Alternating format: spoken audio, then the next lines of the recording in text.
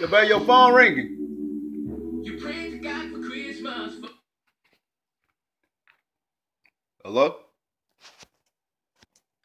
Who the hell is this picking up my girl phone, my nigga?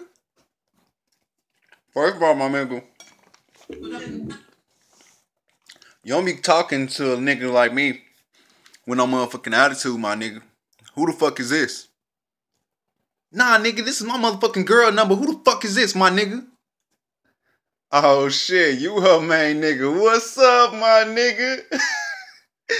Man, this this side nigga job is hard in the bitch, but shit, your girl make it worth it, nigga.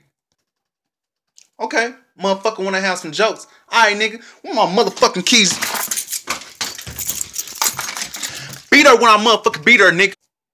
First of all, nigga, you need to calm the fuck down because first of all, I'm keeping your motherfucking relationship together. Cause I've been fucking the shit out your bitch and she ain't still ain't left your motherfucking ass, nigga. You better come to motherfucking